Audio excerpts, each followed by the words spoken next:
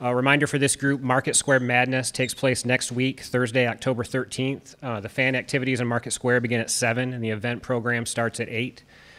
Um, for those of you interested in applying for season long credentials, be sure to get those applications in by next Friday, the end of the day. That link was sent, uh, you should have gotten an email last Friday.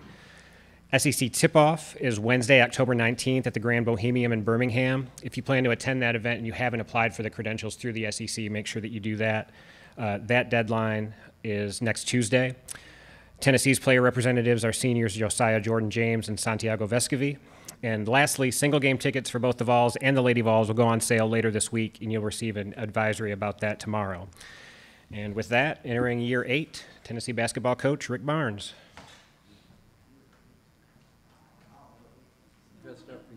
Coach, to start us off, just give us some comments about the first week of practice, and then we'll jump into questions. I think we've had a good week. Uh, you know, I really, um, as you guys know, the rules that we have now, we get to spend a lot of time with our guys when school's in session. And what really changes is obviously we go from the eight-hour week to the twenty-hour week, and and uh, but excited about our guys. I think they've worked hard. They're they're certainly working hard together, and we know we still got work to do. We've got to improve, and there's not an area that we don't have to improve in, but um, certainly some ones that we're really concentrating on is our our ball screen defense has got to be better, and we've got to do a better job of uh, really guarding the basketball. And then offensively, the way we like to play, um, protecting the ball. But overall, it's just been a it's been a good week, and uh, happy with where we are right now. Grant? Rick, how's this team different than than a year ago? I think they're older. Uh, Grant, I, I do. I think the fact that they're, they're older, they've been through it. But just because we're older doesn't mean we're going to be better unless we make ourselves better. And what that means is we can never allow complacency to set in. I think that when you look at our team, the additions to our team, and our and you know we're excited about our young players. That uh, the competition has been really good, but uh, uh, it's uh, we've got to look at where we were a year ago, and like I said, some of the areas I mentioned are where we know we've got to get better. We have to, and uh, but obviously we're counting on the leadership that we had a year ago to pick up not only where it left off, but to take it to another level. And and there's not one person in the program that doesn't have to get better some way somehow. And and uh, but we've we've had a great attitude about I think guys being able to look at what they need to get better at, and they're working at it.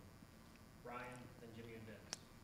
What's the significance of having two guys like Santi and Josiah that aren't just seniors but have played significant minutes since their freshman seasons?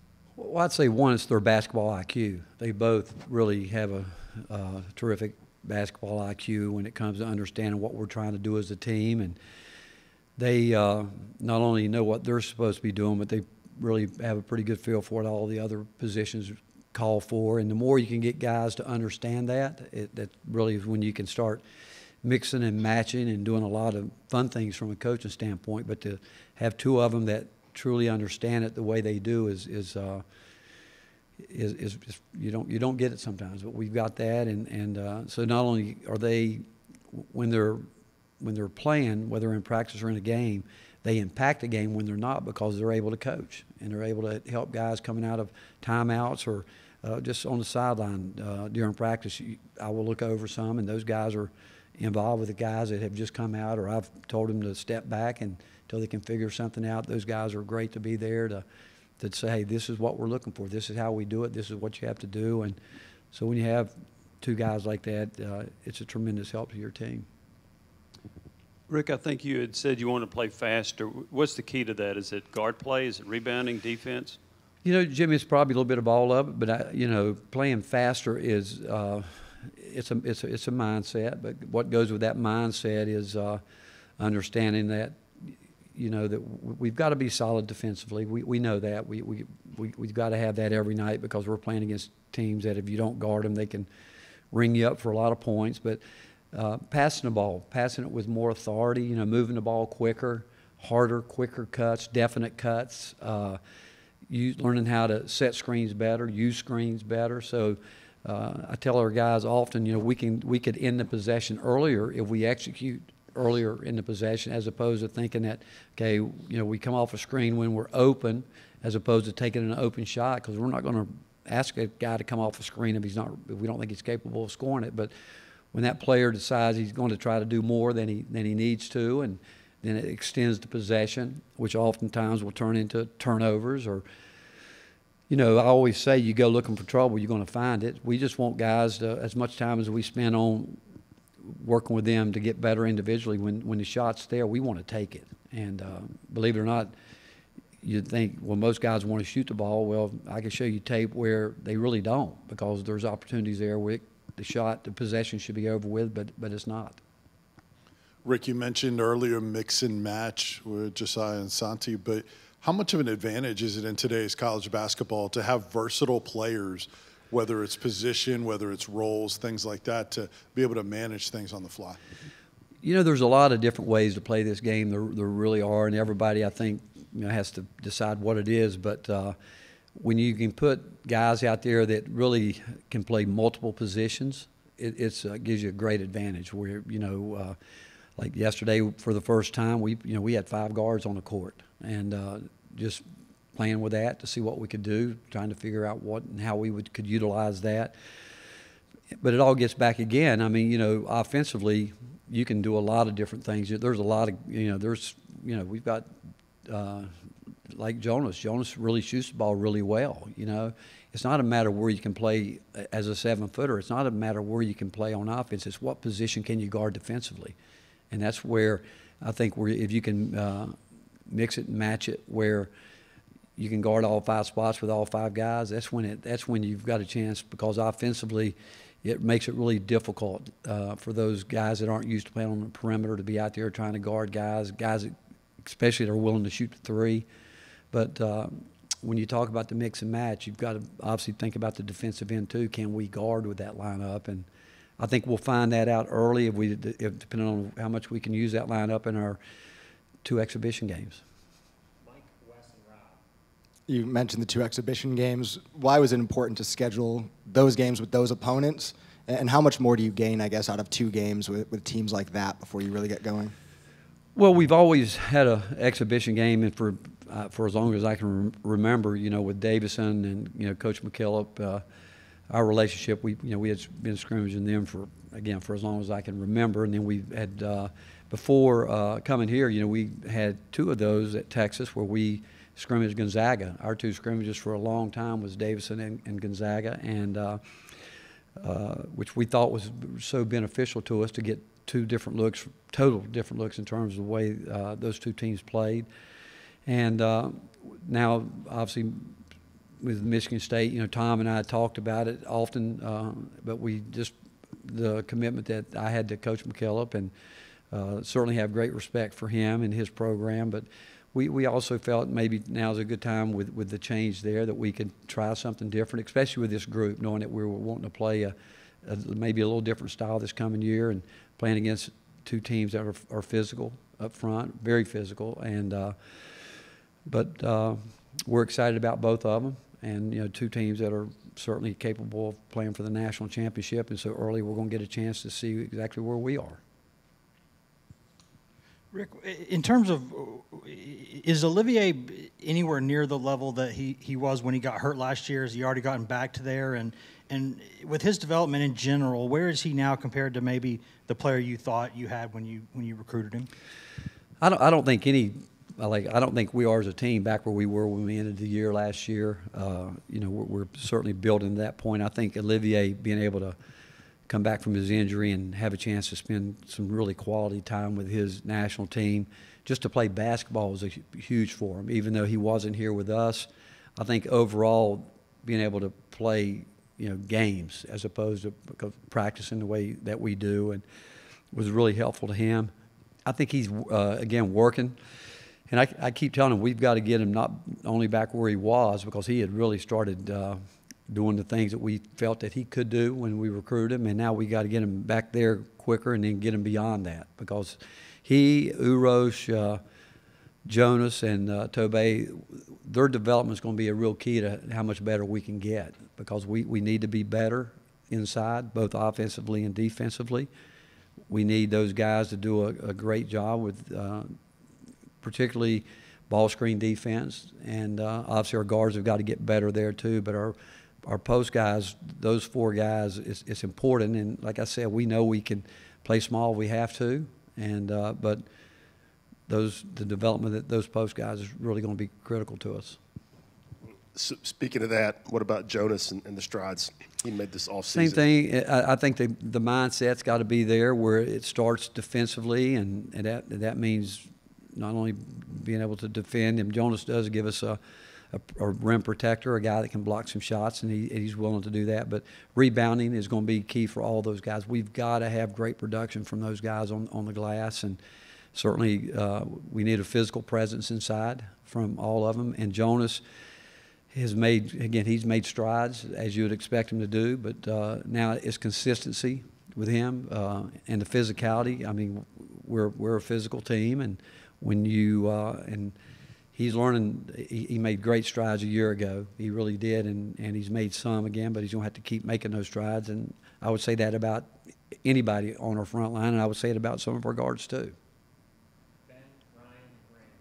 Rick, just how do you feel about the, the leadership kind of compared to years past? Um, last year, it seemed like it took half a year to get the leadership going on the team. Do you, do you feel comfortable where it is going into the season?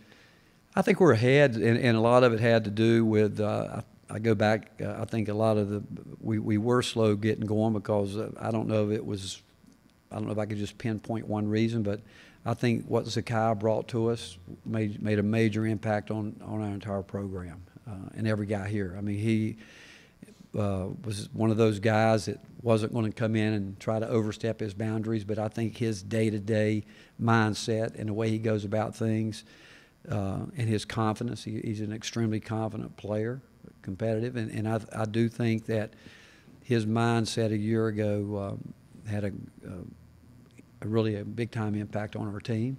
And then Santi and, and Josiah, they um, they took off with it. Uh, it was uh, where again, accountability would be the word, where they, they really started holding each other accountable, and that's the best part of it. When you got a, a I, I talk about it all the time. When you got a, a, a team that's got great leadership, and and it's hard to come by. It really is. But I do think the best teams uh, have it, and I think oftentimes it comes from different players in different ways. But uh, but I do think that once it took off, and, and I have to give Zakai a lot of the credit for it because I, I just think he, he gave our program a confidence that, that we'd been lacking for a while. Two part question. Just with Coach Schwartz gone, does that change anything that you guys want to do defensively? And then, is there been a, an assistant coach that's kind of stepped up and taking the reins of running the defense, or is it just by committee? Yeah, what we've always done, you know, Coach Gainey, Coach Polinsky will be the guys, but uh, again, you know, we've had our defensive system in place for a long time and uh, through you know, a long time, and but obviously we, we tweak something all the time. We're we, we're gonna we're gonna make it work to match our personnel. Uh, we're gonna go back and we, we do it. Uh, study where we go back and look at our games, and and uh, a year ago where where were we lacking and where we have to get better. And uh, but uh, the fact is, I think we've got a chance to be a, a, another terrific team. And sometimes uh, the numbers are important, no doubt about it. When you look at numbers, and you know we rank up there high in, in all of them. But from a coaching standpoint, you look at the fundamentals and where you know we know that we've, we've got to get better. That would even help us be even better. And uh, those are the areas that, again, you we've got to get better. And it, I would say rebounding is a big part of it. We've got to do a better job both ends there. And then our, our ball screen defense has got to be better. And um, we, I, I think in some ways we've got to get a little more physical, believe it or not, especially guarding the ball one on one. Rick, you've had three one and dones the last couple years. Where does Julian, he, he would be in that conversation, but where does his skill set and kind of his situation compare and contrast to the guys you've had the last couple years? You know, uh, I think when I think of Julian, uh, it's his mindset. It's uh, I don't think Julian thinks about one and done. I think you know he's uh, his family from the very beginning told us, "Hey, we'll make that decision when it's when it's time to be made." Uh, I think he's gone about it. Uh, his time here, he's he's been a it's been a incredible, almost like a dream to coach him because I, I tell everybody I don't know if individually, if anyone has spent more time with Garrett, I mean, we've had a lot of guys spend above and beyond, But most of the time, it's guys having to lose weight, do whatever. Those guys never look forward to that. But but Julian on his own has, has searched out Garrett more than anybody because he, he he wants to be the best player he can be. He came in right away, and again, there's no uh, sense of uh, uh, entitlement on his part at all. You know, he's come in, he's he just wanted to work hard, be accepted. I think he's earned his teammates' respect because he's in his own way. He's just gone about working hard. He, he certainly wants to be coached. He wants to get better, and uh, I think if you talk to him or or even his, family, his circle of trust, there they would tell you, hey, there will be a time to make those decisions, and uh, but. Um, I can tell you we're excited and happy that he's with us because he gives us again another guy that has terrific versatility and as he continues to grow and understand the game more and more. Uh, I mean, he's I mean he's got a, a wealth of talent and uh, but it's his overall mindset that is really so much fun to be around because he really is about all the right things and wanting to get better. Rick, uh, Tyreke Key, what do you like about him and what do you see his role being? Same thing a lot with, with Julian. You know, just came in and uh, not not saying a whole lot, but just letting their work uh, ethic speak for itself. I mean, two guys that love to be in the gym, but uh, Tyreke came in, and I think he's so much more than probably advertised. You know, we obviously knew him uh, about him, uh, probably a great deal from the fact that Kevin Feltner with the Tennessee Bobcats, who had stayed in touch with him a long time, and um, and you know, we actually, you know, we recruited Tyreke and, and coming out of uh, high school, but at the time we weren't sure. We wanted to wait till the uh, spring, and but he felt like he had a situation he wanted to be a part of, so we've known about him.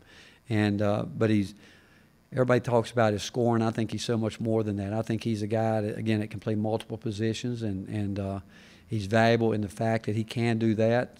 Um, high level competitor. Uh, you know, he can he can score the ball at uh, many different ways, but uh, a great teammate. Uh, again, he um, every day. I mean, he, he doesn't he doesn't have days off. I mean, you watch him come to practice, mentally, physically. I, he, I'm not saying he's perfect every day, but in terms of his approach to what he's trying to do, he's got a he's older and uh, he's got a just a great uh, attitude on. Okay, here's today. I, I've got to find a way to get better. Whether he's coming in for his individual work or whatever he's doing as a team, and we're really fortunate to have him. Rick, you guys shot a lot more three pointers last season than, than you usually had. Was that a byproduct of the players, and do you anticipate that continuing to be an identity for, for this year's team? Yeah, I, I mean, there's no doubt. I'm, we're never going to ask players to do something they can't do consistently, be good at it. And we felt like last year we had a team that could shoot threes. We feel like we got a team this year that can. And uh, but with that said, you know, we've got to be able to, because when you get known for a team that can shoot threes, people are going to come out there, and now you have to have somebody who can go to work inside and make them play that way too. So we're not going to abandon what we try to do inside around the rim and those type things, but. Uh, you know, like I said earlier, we've got guys that we tell them if they're open, we want them to shoot it, and uh, that's that's important, and that's where we can get better rebounding the ball, knowing that shots are coming up when they're open, going up when they're open, and we've got to go make that effort to try to get a, a rebound if necessary. And but um, I, I, yeah, I think that we'll probably shoot as many or more than we did a year ago if it goes the way it's been going. Rick in the back here, in the way back. Uh, Chris Lofton's retirement. When you broke the news to him, what was that like? And then what does he mean to the program? Well, that was Tom's idea on how to do that, you know. And Chris is around when he's in town. He comes around a lot. He, he we've enjoyed him since we've been here, and the players enjoy him because uh, you know he's always in the gym. Uh, he he watches our guys, and then he'll normally stick around or do something on his own. And actually, the other day when I last saw him, I, he was in the gym working out, and he, I said, "What are you getting ready for?" He said, "This is just my piece right here. I like doing this." And in that way, I think the guys have watched him, a guy go about his business the way he has, and uh, but uh, he said he thought something was going on, but I'm not sure he did until the very end. But the fact is, it's a great honor for him to do what he what he did, and and uh, again, it was something that it was just a matter of time, and it was all based on his schedule. No, nobody wants to retire somebody's jersey if they can't be here, or so when you uh, you say number? What did you say? You, You know, you always change stuff, so I don't, you know. But, uh, but anyway, he, he, uh, it was, it was just a matter of his schedule and the fact that he's here and being from the state of Kentucky, I just think it's, uh, you know, and that's what he would like to do. I mean, if you, we had, if we asked him to pick the date, he would have picked that, a game like that too. And, uh, but again, it's a well-deserved honor to a, you can't find a finer person. And, uh, certainly he loves Tennessee and made an unbelievable impact in more ways than we all know. Going back to that idea of playing faster, do you feel like the players have already sort of bought into that mindset, and do you think that's something they could really get excited about and really get behind? Well, they all will tell you that, but they don't realize how hard it is. It's hard. It's really hard to play fast. It's hard to play quick because, you know, you play quick. Sometimes you get down the floor, you get a great look within three or four seconds, five seconds. You shoot, you miss, and if you play defense the way you want to, oftentimes you're going to be on that end for 20, 25, 27 seconds, and then go back and get it again, shoot again. So it's hard. It's a commitment that has to be made. Uh, where if you're going to shoot it that quick, uh, you got to run. You got to try to outrun people. Try to get to your space on the floor. We're always talking about attacking space. Attack your space. Know what you're good at. Get to it. But uh, it's not easy. Again, uh, they all all players say I want to run and play fast, but like I said, it's so much harder than people think. And uh, you're either going to play fast somewhere in between. And, and I think the key though is being able to play at all different speeds because some teams aren't going. They're going to hold the ball on you. They're going to try to shorten the game. So you've got to have a mindset that what you do on the offensive end, you're going to do it. You're going to believe in it. You're going to live with it. But then, if we're not uh, getting, say, making the kind of shots we want to make, when we call something where we've got to maybe go at somebody to get them in foul trouble or get to the foul line, players have to be able to make that adjustment too. But the mindset of playing fast and quick, it's, it's, it's got to be developed because it's, as much as players talk about it, it's not innate. You got you got to develop it. Rick, just being a month out, how, how do you feel about your team's ability to rebound and, and where you all are rebounding just a month out? Well, it's been an emphasis with our coaching staff, and I think they've done a good job with our guys in practice. But uh, we'll see. You know, I, I mean, it's the same thing. That's not something that guys particularly want to do. I think the guys that understand what goes into winning figures it out, and the guys that do it the most will probably be the guys that play the most because that's rebounding impacts the game in ways that I think most people don't understand. Uh, I mean, you've got to rebound a basketball. You can't be a, a great defensive team if you can't finish it with a, with a solid defensive rebound. And certainly you can't be a team if you're going to play quick, think you're going to shoot it and be one and done. You've got to go get some second chances. The good teams are going to rebound offensively, probably somewhere between 43, 44, 45% of their misses. And we've got to get better there. Rick, with the, the Gonzaga scrimmage, where did the, it's pretty unique with the charity aspect of it, where did that come into play in, in your work with the McLendon Foundation? Well, Mark Few had called me about it, and you know, and and I think to get the game to be the game, it had to be for a foundation, and there's not a right now for the McLendon Foundation. John McLendon, just an unbelievable pioneer in, in our game and what he stood for, everything he stood for, and it's a it's a uh, foundation that is set up for minorities to get into athletic administration. And so, to, obviously, to get the game the way we got it right now. And again, Mark called me about it. Was you know certainly pro, some of the proceeds will go that way, and then whatever else comes from it, it could be some NIL opportunities for players, and we'd like to make it for every player that's there, if if possible. But uh, the fact is, um, we're excited about it. A- again, um, I think it. Uh, I mean, it's it's a game. You know, we're we're going to play it, and I think it'll be well attended there, and certainly hope that you know it's uh, picked up by a lot of people from a streaming standpoint. You feel like this is the most versatile team you've had since you've been here? You know, uh, I could say yes uh, in some ways. I, I do because again, uh, I don't know at any point in time. Uh, I'd say that we could put what would be considered five perimeter players out there at one time, uh, and and one reason we- we'd be able to do that is because of Josiah, because he's got you know he's got elite hands, and what he does with on the defensive end with his hands is really remarkable, and uh, but we also. I think our guards, uh, they're going to fight if we, if we end up doing a lot of switching with a lineup like that, they're going to fight players in the post. They're going to work hard and be competitive there. And, and um, like I said, uh, the versatility offensively can't be there if it can't if you can't do it on the defensive end. You got to be able to do it on both ends. And I don't think we're there yet, but um, maybe we can get there. All right, thank you guys.